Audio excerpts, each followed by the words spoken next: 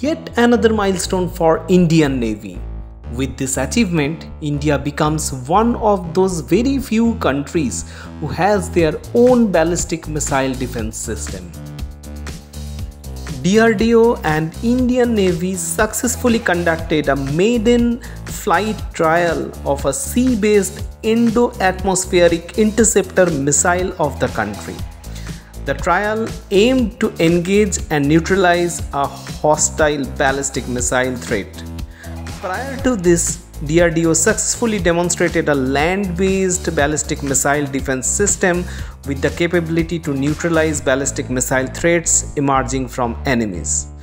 With this, India joins the elite club of nations having capability to defend and defuse ballistic missile threats. US, Russia, China, Israel, UK, France, Italy and Japan are the other countries who has their own BMD system. Thank you for watching this video and to get this type of more updated information on defense don't forget to subscribe my channel.